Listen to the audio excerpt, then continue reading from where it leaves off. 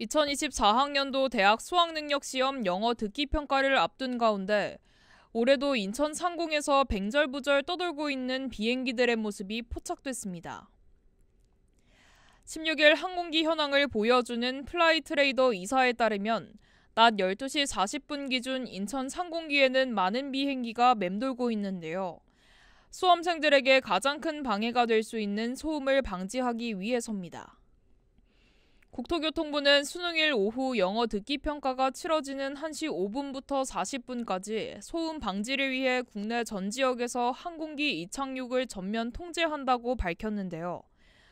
이 시간대 비행 중인 항공기는 관제기관 통제를 받으며 지상으로부터 3km 이상의 상공에서 대기해야 합니다. 또 각 지자체들은 수험생이 시험에 집중할 수 있도록 시험장 인근 공사 현장에는 공사 자재를 요청하고 운송조합의 버스나 택시 운행 중 경적 등 소음도 자제토록 요청한 것으로 알려졌습니다.